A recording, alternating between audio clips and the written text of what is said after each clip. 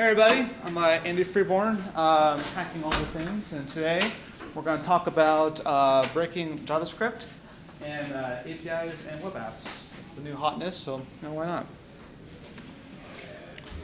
A little about me. Um, now is you know just kind of a job over uh, being a pen tester at uh, Pacific, and so a lot of pen clicking and a lot of dank memes. That's kind of what I'm best for, but also uh, testing security and web apps and mobile apps and all kinds of security uh, in both web app mobile testing and as well as uh, fit clients and uh, SCADA environments. And I love uh, different kind of CPU architectures and again the dank memes. You know, current favorite is uh, Evil Kermit, so that kind of keeps me going. And who doesn't love that? So today, you know, kind of a little bit of agenda. Uh, you know, kind of talk about the why of this talk and kind of what things we're going to talk about and why, you know, the motivations for this kind of uh, talk. And then uh, tools to identify and uh, break all the things. Not all the things, but many things. And have a thing to break if we have tools to break stuff. And then we're going to do a demo. So hopefully that works out, but you know, we'll see how that goes. So the why. As you can see here on this picture, there's a lot of colors here for JavaScript. And basically, in JavaScript in a uh, corporate or even small business environment, you have a bajillion kinds of jQuery, Angular, Mustache, Backbone. You know, like all those things, you know, work very well for a specific uh, use case that business may use it for, but how often are we evaluating that specific version of jQuery and saying, oh, we're on 1.6, we should really be on the next version for a variety of reasons. The developer says, well, that costs money and time. And I say, well, because security, we should. So as we can see from the ZDNet article, there's a ton of different varieties of JavaScript frameworks in use today. And it's only going to get worse as you know, developers find this cool new thing to play with and develop it and then you know, use it in production and trying to keep on top of that. So as security people, we need to make sure that we're aware of this new versioning format of incorporating different versions of uh, JavaScript in the environment in production and how we're aware of these kind of frameworks and making sure that we know that you know we do our best to really be you know aware and kind of keep that the ball rolling of being updated and secure. But really, really, we know the reason with uh, JavaScript is a problem because it's evil. So the bane of all of our, oh, bane of our existence. So you know, really, with when we talk to developers, on assessments, we say we found this version of jQuery or Mustache. And they say, why do we update it? And we say, because security. But really, it's a problem that not only that we face in our organization, but any kind of place where you find a highly deployed uh, product, you're going to have a lot of people looking, putting eyeballs on that, and bad actors trying to exploit that. And just ask anybody that runs WordPress. I mean, how, to, how often are they trying to update and keep on top of their platform to make sure that they're secure? And so commonly you're going to see, you know, always see a lot of low risk vulnerabilities. We see, oh, this version of, of jQuery, it's not really a high, uh, you know, high risk to the organization, but it's kind of a low risk. Oh, now we see uh, uh, low risk and say a, uh, the WAF.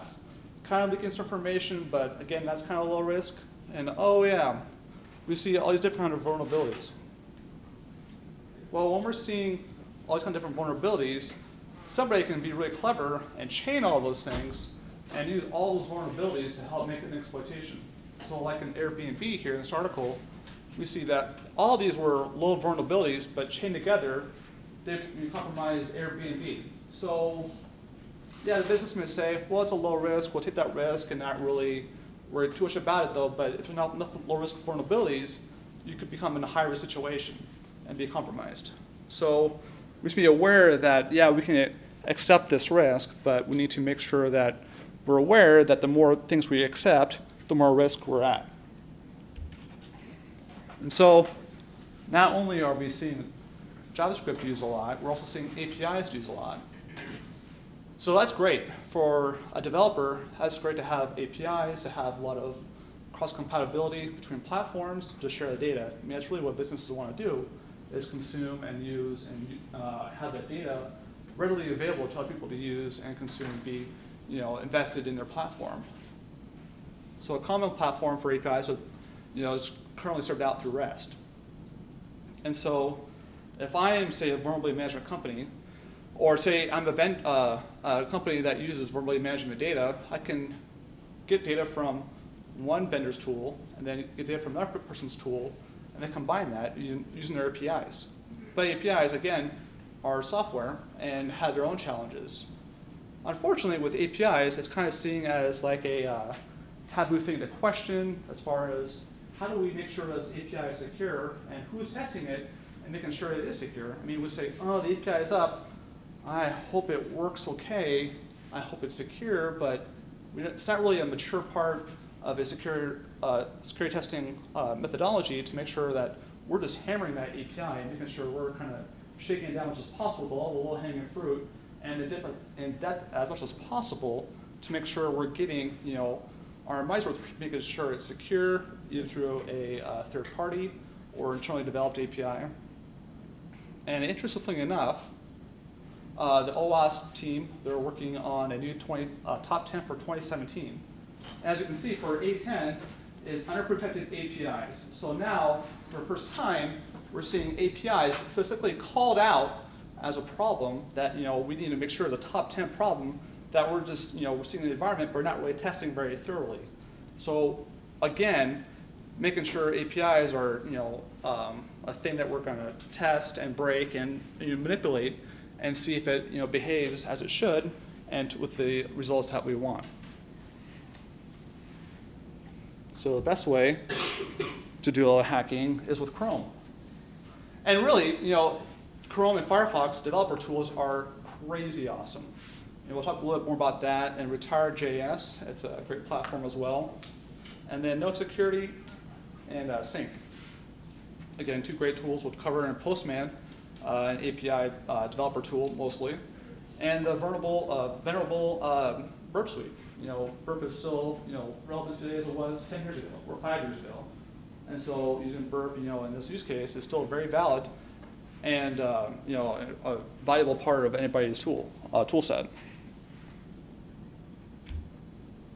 So again, with Chrome and Firefox, you know, we, as we saw in Brad's talk, that Chrome has a large share of the uh, market.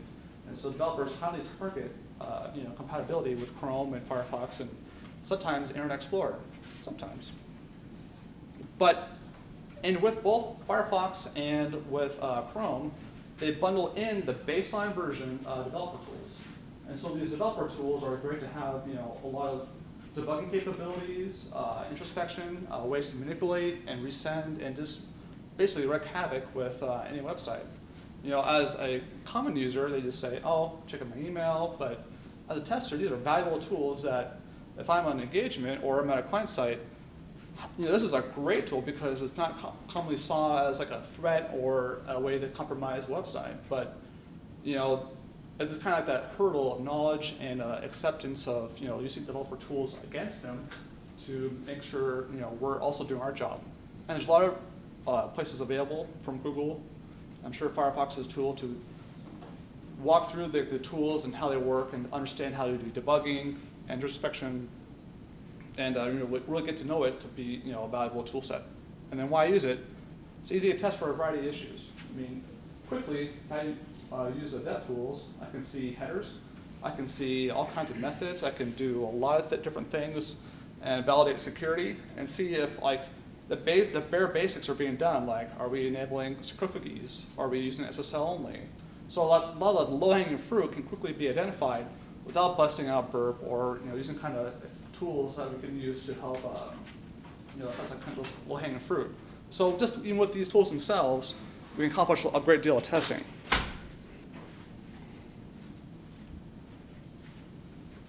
So with testing, for example, we have, if we use these tools, we can quickly see the source code for all these uh, JavaScript files, um, CSS, and kind of things like that.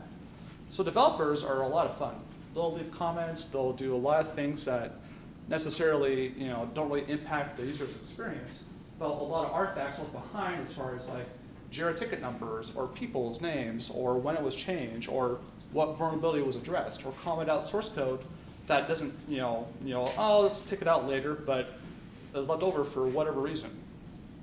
So you can see in the top part here, we can see all the, uh, and the, the routes that this Angular app is going to use for like a model view controller type of application, all the routes. So we can see right there in the first one, administration. So we're going to say, oh, off the bat, we can see there's an administrative uh, portal that you know could be, you know, is it off? Is it having kind of vulnerabilities associated with that? And in the bottom, we see a, a commented link to a scoreboard. That's interesting.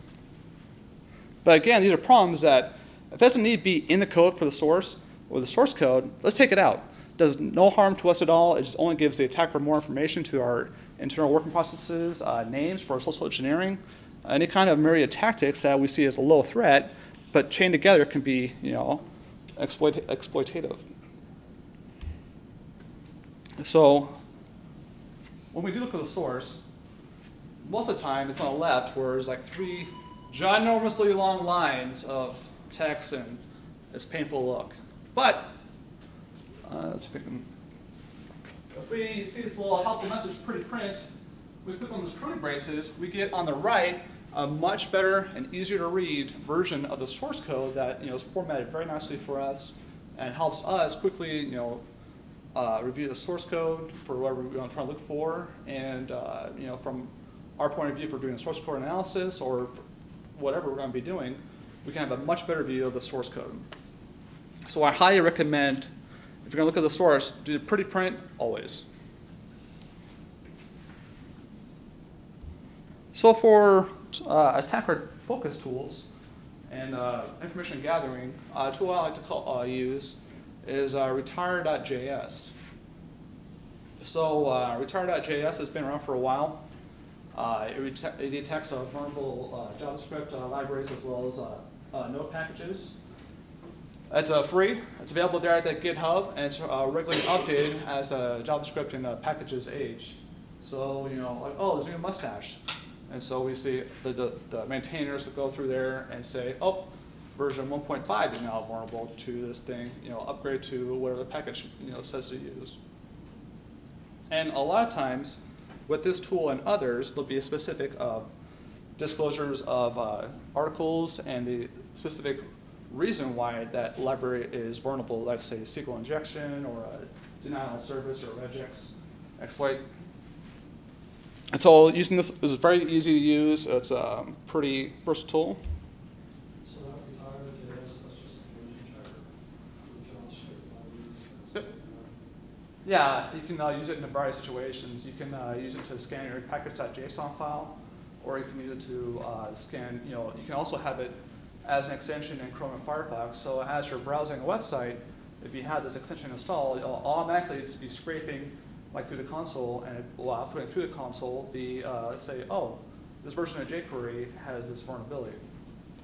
So I guess it's determined this version, this, this vulnerable because we're using this particular version. Yeah. So it's just looking for types of JavaScript libraries, Mm -hmm. versions on that, and it should go back to that particular version. Mm -hmm. With these known vulnerabilities. Yeah.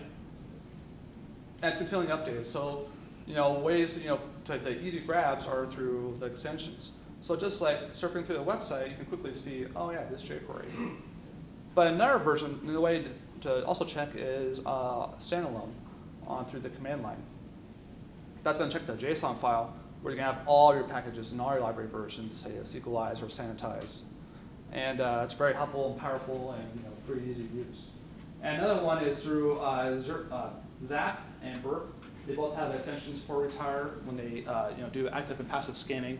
They'll also do more checks for that as well. But for, uh, but for Burp, it requires a Pro license. But for Zap, it's a free extension and it's pretty powerful.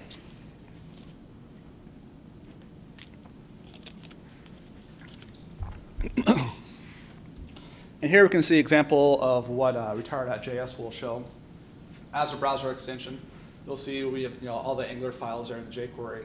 Our, you know, that version 1.5.11 of Angular is vulnerable. At that point in time, you know, that's very helpful for me as a tester when I'm doing a report saying, oh yeah, found this version of Angular at that place, why it's vulnerable, kind of what they assess the, the risk to be, and uh, be very helpful for screenshots and put reports and quickly identifying to the developer, like, let's get a new version and help uh, remediate these issues. But the more in-depth uh, way using retire is through the, the command line. Uh, so we can see here, using the command line, scanning a package.json file, we can see that you know, through this wall of text, Sequelize 1.7.11 has potential SQL injection problems. So again, we can see like the nodesecurity.io advisory linking to that uh, version of Sequelize and uh, the problem associated with that library. And also calling out uh, two more tools that operate basically in the same way, uh, you know, basically. Excuse me. The first one is a node security platform project from uh, ^Lift. And uh, actually, I don't see him here, uh, Nick uh, Stark, I think his last name is. he helps maintain this project. He's here based in Iowa and um, you know, maintains all these kind of advisories. And so a lot of the tools like our Retire and uh, Snyk and NSP, of course, will reference node security uh, advisories and kind of like keep the, you know additional crowdsourced version, you know, um, crowdsourced repository information. And again, that's a it scans uh, directories and the JSON files and the the uh, the node packages as well. And Snyk is pretty cool too. Snyk, you can uh, basically go to the website and say, I want to scan this public uh, GitHub repo. So it'll scan anything from JavaScript, Ruby, Java, and um, it kind of it, a, you know, a lot of things. And so you can see in the bottom there with this uh, Snyk scan from uh, this anonymous GitHub repository, we see that the commit that was scanned, the known vulnerabilities associated with this, vulnerable paths, potentially causing problems with this uh, project, and the dependencies, all different, different kind of libraries associated with this. So quickly, I can see for free, you know, if we have uh, public or private, private, you get as well for the free tier a uh, quick assessment of uh, vulnerabilities associated with your project.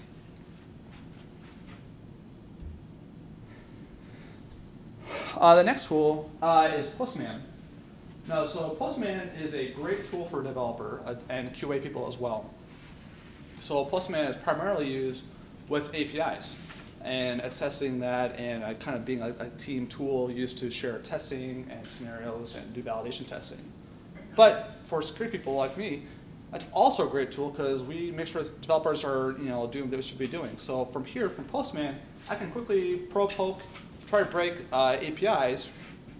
I can save that query and send it to a teammate and say, this is what I did, you know, if I'm out sick or whatever the case may be, and also second set of validation, I can quickly share that information with another team member, and then like, oh yeah, I got to set curl, you got to do this kind of thing, or oh yeah, you have version of 2.7 of Python, get out of town.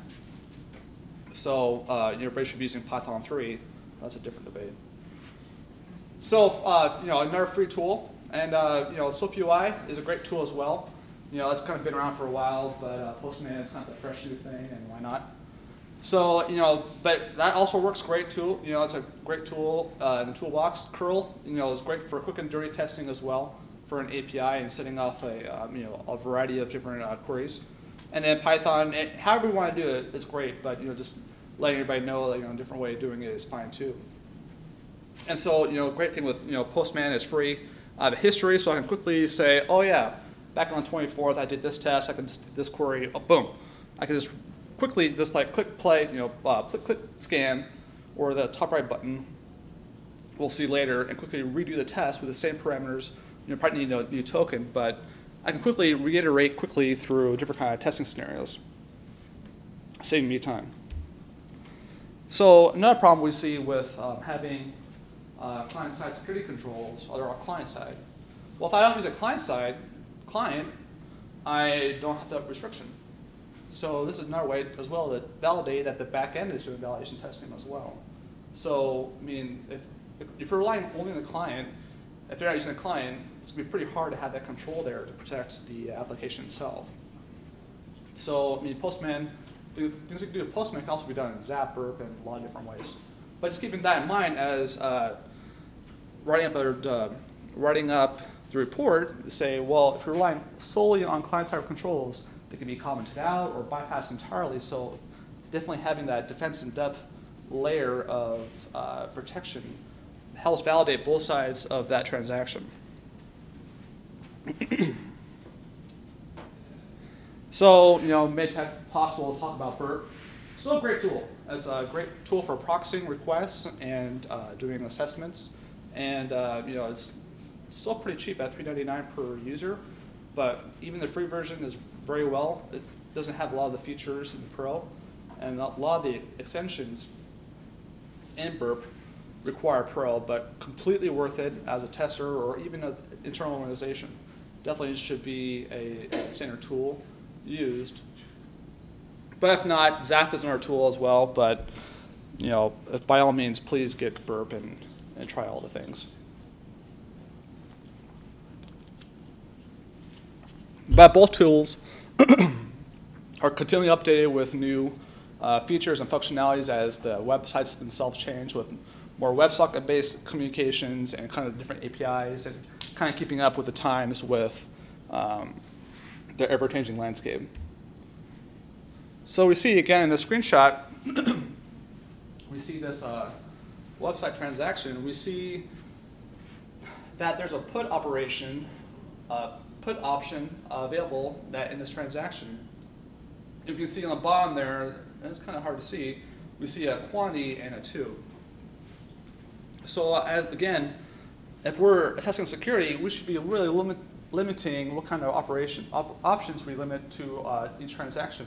Do we allow put, delete, and update on everything, or only on certain operations? So do we only allow get and post, or just even get? So we got to be mindful of how the developer is allowing people to communicate with the application, and if they're just like, oh, it'll be fine, I'll, I'll put. But put's a very dangerous operation as it can be put information back onto the system. Or delete, you know, the same way, take off the server. So as you make sure that as we're assessing, we're being mindful of what are the options available to us. If I were to do a put operation instead of a get, would that work? And why not? You know, why wouldn't it work? So kind of the why not attitude of like, eh, just try it. If it's a 404 or denied, he said tried. So finally, the thing to break is the OWASP Juice Shop. So the Juice Shop is an intentionally uh, insecure web app for security training, kind of assessing, uh, kind of helping people, you know, get into the uh, you know, habit of how I look at a JavaScript-based application with APIs and how I break that.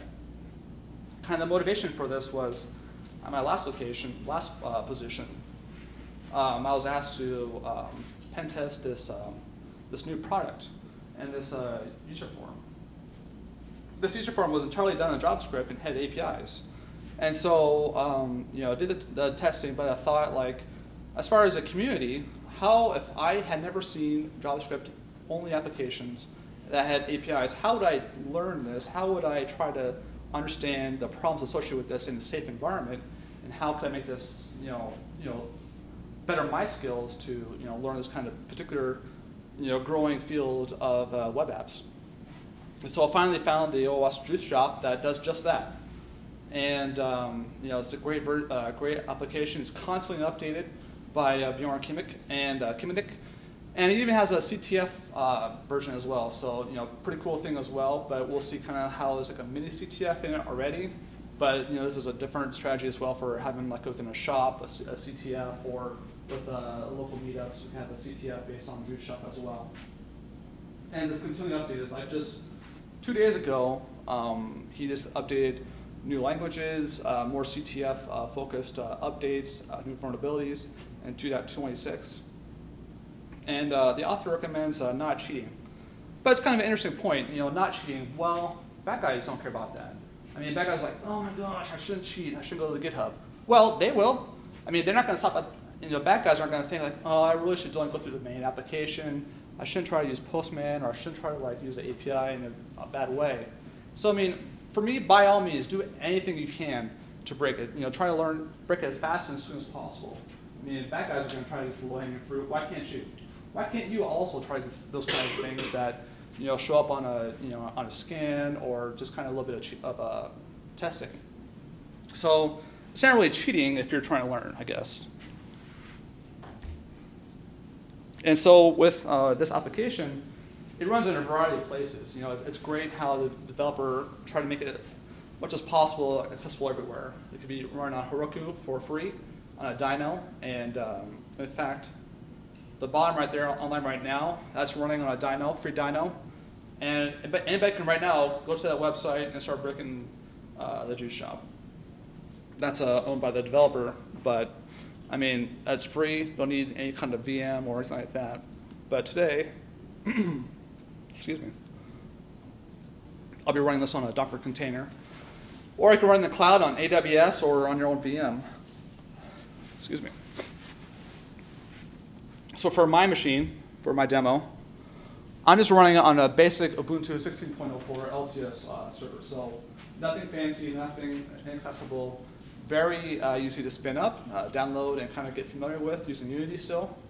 Long live Unity, but that's a whole different discussion. So download the ISO, boot it up, and do a sudo apt-get update and uh, upgrade. And then installing Docker, the latest uh, Docker CE versions. Uh, that they have a great uh, set of instructions, they are very straightforward. You know, let, I would say less than two minutes of work, not even probably two minutes. You know, not counting the download time and the update update time. I had a system ready to download to run uh, the juice shop. So basically, once you install Docker, pull down the Docker image of juice shop, Docker run, and then uh, with those parameters for backgrounding and running on port 3000 with that image name, with that image of juice shop, and you have it running. You have it, you know, no effort of doing anything else, like Make sure Apache is cool or anything like that, and trying to work about permissions. You have something ready to rock and roll. so sometimes you'll see a lot of things like Metasploitable 3 or different kind of versions of uh, intentionally insecure web apps. They kind of say, go ahead and find the vulnerabilities. That's kind of part of the learning process, right? Well, if you're new, it's kind of intimidating. You know, we're all new ones, and so you know, I'm always going to say, oh yeah, this is what you should do first. This is how you should look at it for second. This is how you should try to figure out, without giving the answer, how to solve this challenge. So in companion with this uh, project, there's the OWASP Juice Shop book. So it goes through the methodology of walking the dog, of going through the website, and clicking on the things. How if I were a regular user, how would I use application? Kind of first understanding how I would use the juice shop in a normal setting, and then as an attacker, how would I start attacking it? So the vulnerabilities aren't like, oh, I got an XSS to pop and alert one. That's great. Still happens in production, but still, you want to get deeper and have more real, kind of very similar attacks that you would see that are more nested and harder to get to. So with with this project, definitely achieves that. Uh, you know, finding fun SQL injection problems and like tiered XSS problems without using the front application. Like I said earlier, using Postman to help bypass those kind of client-side restrictions that we can easily bypass using the API. So it, it really is a reflection of the uh, a more modern environment. So, like I mentioned, uh, we'll do a, first we're to do a walkthrough of the application, kind of see how it works. Quick walkthrough, and then we'll uh, go through some vulnerabilities. A little disclaimer, with the book they say to go through the scoreboard and try to find that. And then we'll try you know, go through these kind of vulnerabilities and then uh, see how it go. Any questions so far or comments? Memes? I noticed you talked about, you know, like Burp and Zap and that. Mhm. Are there any of the commercial grade scanners that work well that you found, or do you prefer some of the, I guess I could say smaller? Sure. Uh, question is, like, kind of using commercial, tool, commercial tools versus uh, uh, free and uh, low-cost tools as well. I've used IBM AppScan. That's also a great tool, but um, you know that's good for more point and shoot, and then as well as following up with you know for an automated testing scenario, but following up with as well manual testing, kind of like how that work in tandem with like say one user account, using that you know the AppScan to help uh, scan, and then using another account with uh, Burp or Zap, and kind of like figuring out like you know from the same time, um, you know using those tools as well. But you know they work great too. It's just as far as um, you know how you're comfortable with them and kind of putting the time into like work with the tools. But you know, I, I like Burp a lot, but it's a lot of you know this repet repetition and going through apps, and then, but AppScan is really good too, and helps find a lot of cool things too. Anything else? All right. Doke. So, I'm gonna pop right over to uh, VMware. Oh darn it! I thought I left it on. All right. Ah. One second. Almost there. Red 5, pull up. All right. So, you know, a very basic uh, application where we um, see that we can uh, just quickly spin up on a, a, standard Ubuntu machine. So I'll, I have Chromium installed on here, and um, this is actually been harder than I thought it would be. So, you know, the, the basic setup for uh, running this box, well, running this version of, uh, oh shoot, running the uh, Docker image is simple as, you know, as mentioned, running the uh, just this command. So we'll copy that real quick.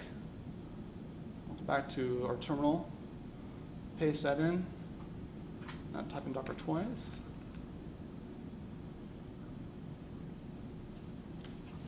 All right, that's it. The, the website's running. Literally, that's all it takes. We browse to that website, boom. Now we're into the juice shop. So the juice shop is, like it suggests, a juice shop. So here we have uh, different kind of juices we can add to our basket and a standard uh, e-commerce website. So we can't really do a whole lot from here without creating an account. So first we'll create an account, log on, register,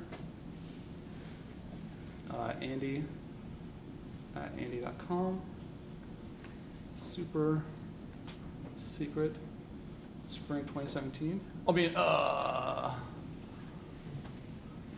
and I got changed to summer 2017. All right, so now we're in our, uh, our website, and we're just go ahead and we can see a product description through here, uh, juice, all-time classic apple juice. And we just click this little button here, uh, add to our cart, to our basket now has one thing of apple juice. You can see the price here is $1.99. We've got one of those juices. And we'll go ahead and uh, check out. So that's our receipt for our order. And um, yeah, that's basically it. Pretty straightforward, but you know, all, along that whole entire way, there's about a bajillion vulnerabilities that we'll soon discover. So even the, though this is a seemingly simple website, there's so many issues that prop, are uh, you know, available to us to help discover that we'll soon see that you know, may seem simple and short, but has a lot of opportunity for us to learn and investigate. So earlier we mentioned there's a scoreboard. And so if I didn't read the book and if I was trying to start poke around, how you know all those screenshots from earlier all reflected vulnerabilities associated with a juice shop. Surprise! So start with going to more tools, developer tools, and now we have a really super sweet way of assessing the website. So let's refresh the page. And now we can see all the traffic associated with our with the, the site itself.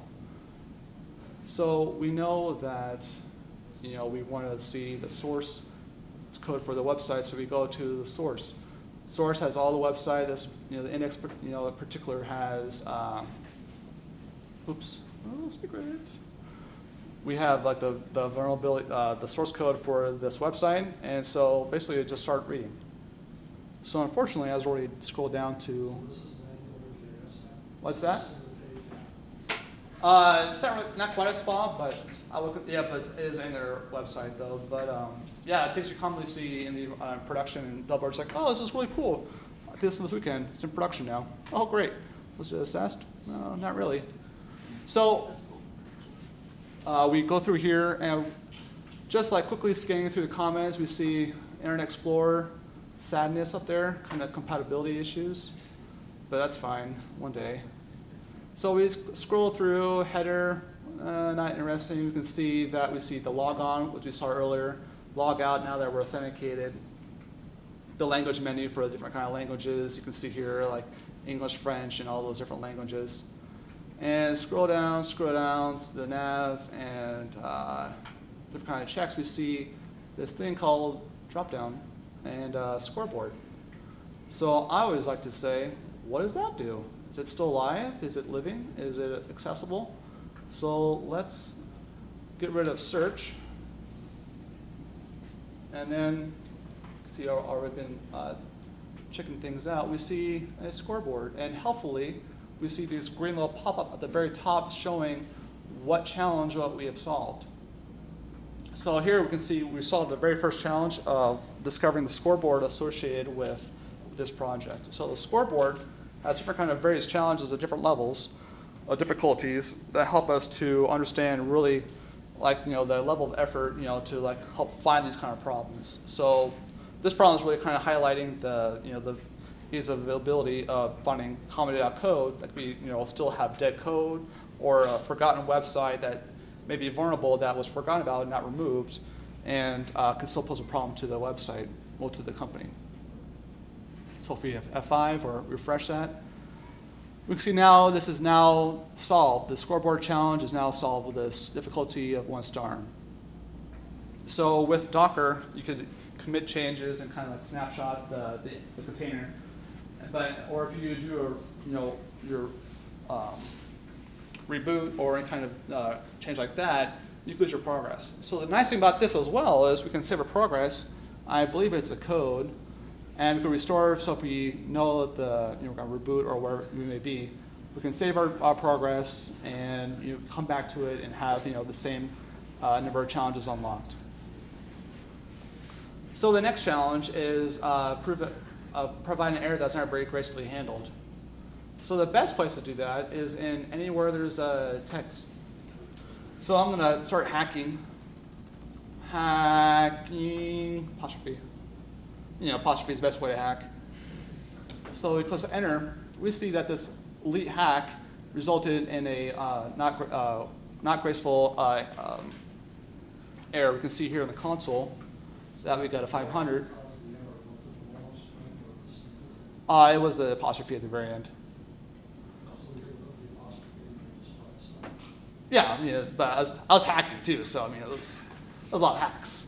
I had the hacks first and the apostrophe. It runs faster that way. And we can see that we have a graceful error here in the uh, console, kind of give us, you know, oh, they're trying to be very helpful and kind of help us understand, oh, wow, that's cool. So we'll go back to our scoreboard. We can see that now we have uh, two challenges done.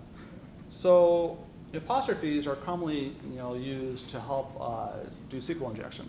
And SQL injection is a way to help uh, break out of uh, queries to a database with information or any kind of way to help you know, circumvent kind of controls and make the application do what it was intended to do. So that's why I really did the apostrophe was to help show that it's not really aggressively handled. It's not going to be uh, good news for this application. And so again, another way, you know, another fun thing that we try to do is do the uh, infamous uh, alert one box. Again, we got a text input field, so let's try some more elite hacks, and we'll just do a script. Oh, at first, let's kind of talk about the challenge. So we have an XSS tier one. So for the tier one perform re reflected XSS attack with this specific uh, script. So kind of lazy. So let's just copy scrolls and then paste. Boom! XSS1. Nice. So here we see, you know, again, the green box.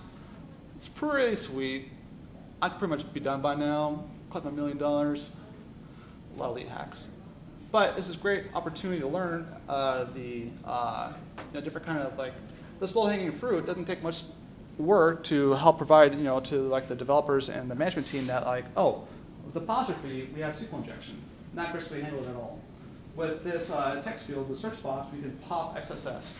You know, for that's really what we're trying to accomplish here and kind of understand that you know for these kind of problems, it's not really it doesn't take much rocket science to try to understand that like developers didn't really do their job of due diligence to make sure that these kind of things were not scrubbed out through client-side or even server-side uh, validation checks of character input sanitization.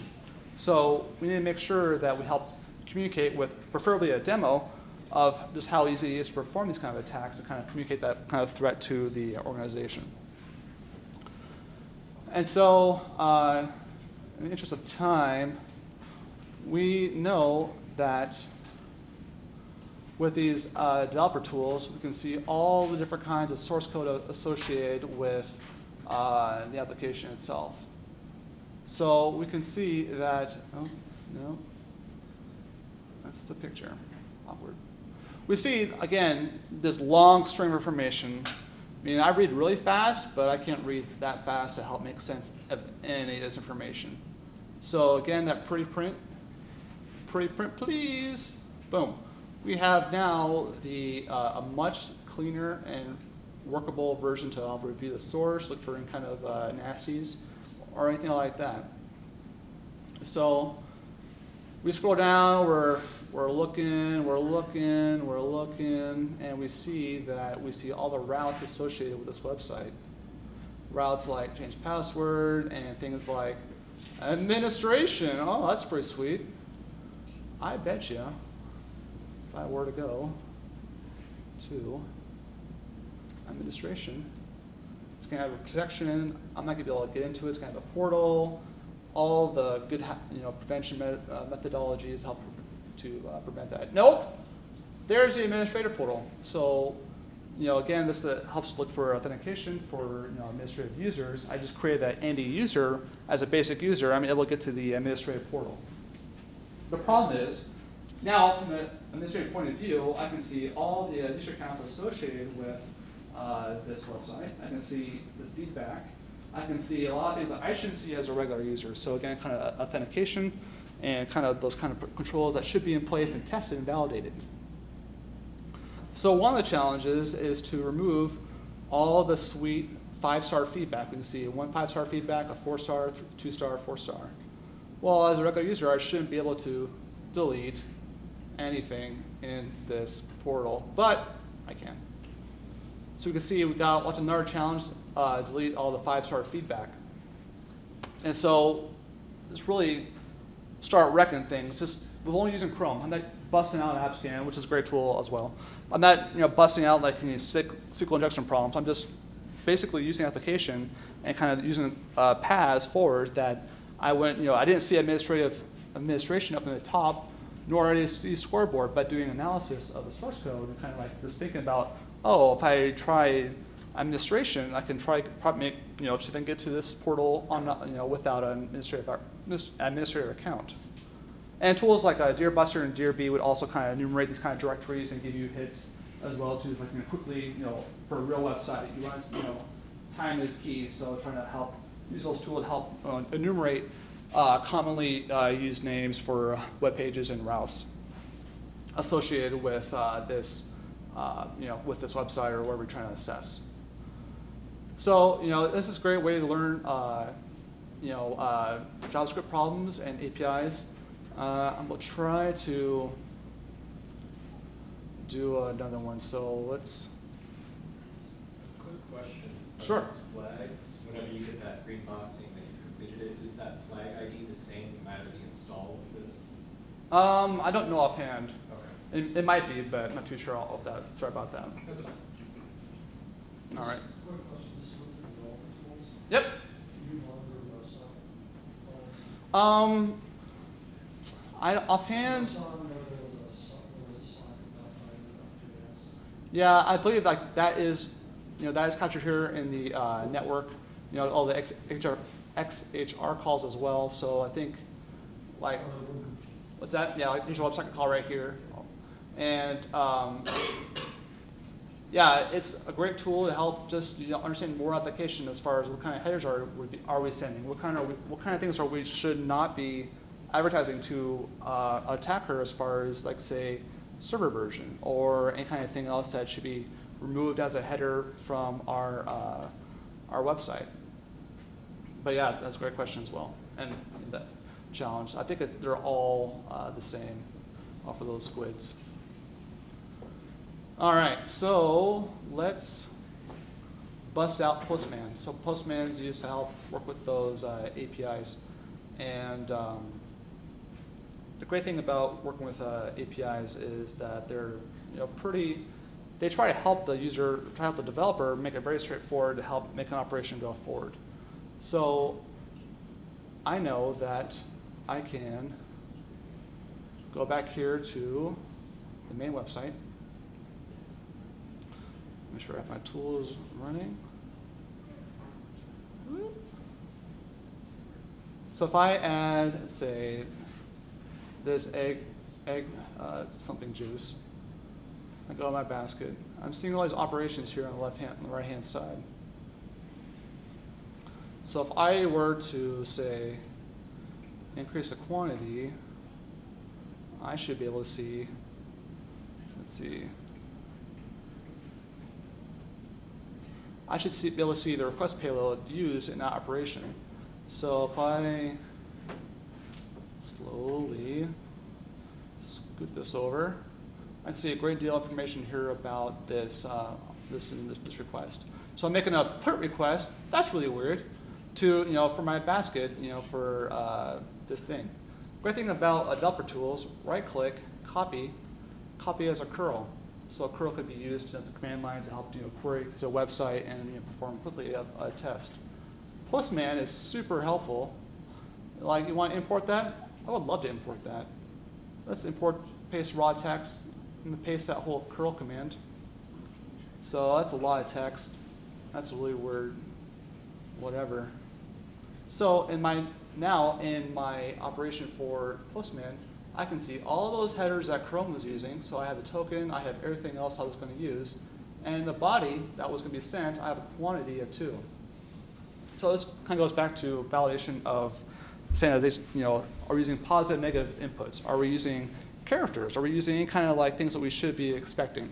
So if I were to do like negative 77 something and send that along, I should, it shouldn't be, I should not AC that much quantity or a negative value. But as we can see, this operation succeeded. So now, you know, this, you know, went along, talked to the website, say, cool, whatever, yeah, negative bajillion values.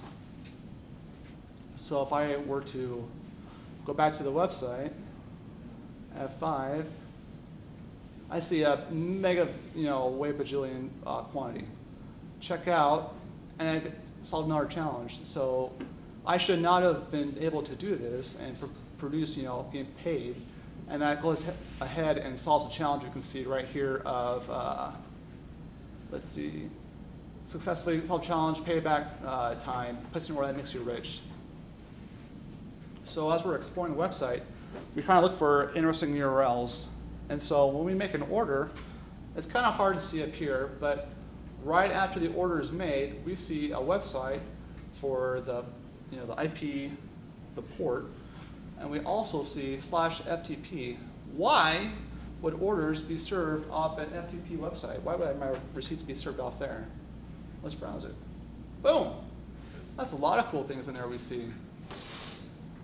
And so here we see all kinds of things like uh, package.json, that back file, like a backup file of our JSON. So this is all uh, uh, inventory of all the libraries and packages, no packages used on our website. So that shouldn't be there. We shouldn't see be, here's my orders I made you know, through the normal portal. But we also see all these other files that we shouldn't be able to see. So if we just try to browse them, we can see a lot of different things, like all the things we should not be able to see, like this should not be available to us. This were a real file. And so, uh, you know, it's, exploring, kind of prodding and touching all the things that we want available to us. We want to make sure that we're testing all the things that we don't really, you know, would not accept a normal user to do, but potentially could do. And so um, there's a lot more to explore. There's a ton more challenges to explore and understand and learn. And the book, and there's a lot of websites available as well to help uh, help you out with the uh, different challenges, kind of give you hints, and kind of progressively kind of inch you towards trying to learn, like without giving you the answer, what to look for and how to look for them, how you would test them, and just explore the website more and more and keep on going. So this in itself is a mini CTF and a cool way to learn uh, ways to break JavaScript and APIs and just keep on going to harder and uh, more cool challenges. And uh, so, you know, that's great for, you know, messing around with, um, oops.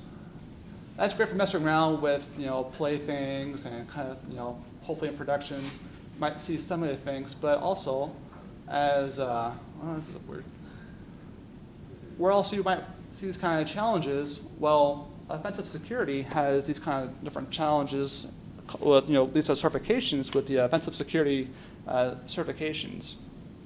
And so one of them, the OSCE, uh, you know, the one of the courses they have is cracking the perimeter. And so to get into the crack the perimeter uh, course, you need to help do these kind of challenges to first break through these challenges to get us their key to tell like you know OffSec that yep I, I know these skills I can get through like the this kind of shakedown things help uh, kind of prove like I know have some knowledge of these kind of attack methodologies and ways to break in. And right here they say use a source. You know as we saw with you know with uh, Juice Shop, we saw that there's um, you know using the source we would glean a lot of information and help break in. And so it's just kind of like poking and prodding and trying to understand what's going on can really help us in uh, real life situations.